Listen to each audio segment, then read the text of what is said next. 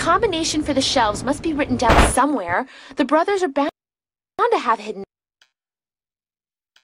it for sure.